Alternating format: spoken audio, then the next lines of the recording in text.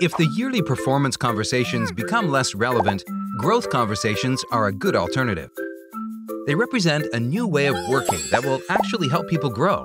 The five principles of growth conversations are the following 1. People are best served by frequent feedback that is connected to their actual work being done.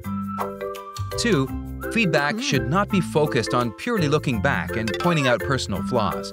Instead, it should be focused on building personal qualities and looking forward. 3.